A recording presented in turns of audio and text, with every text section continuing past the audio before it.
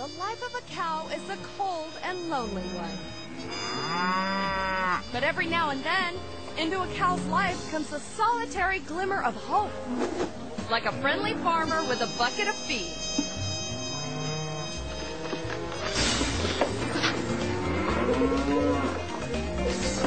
This lovesick cow expresses her appreciation as only a bovine can. But the farmer just wants to be friends.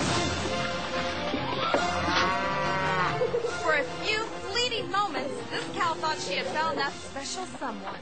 But at least she knows that when love came along, she milked it for all it was.